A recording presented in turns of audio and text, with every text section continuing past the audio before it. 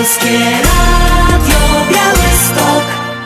E, Znajdujemy się w Starych Modzelach. O godzinie 13.59 otrzymaliśmy zgłoszenie o pożarze budynku jednorodzinnego, drewnianego. E, Pierwsza jednostka ze Starych Modzel po dotarciu zgłosiła, że budynek jest objęty całościowo e, pożarem. Wewnątrz może znajdować się osoba. E, Na tą chwilę trwają działania gaśnicze.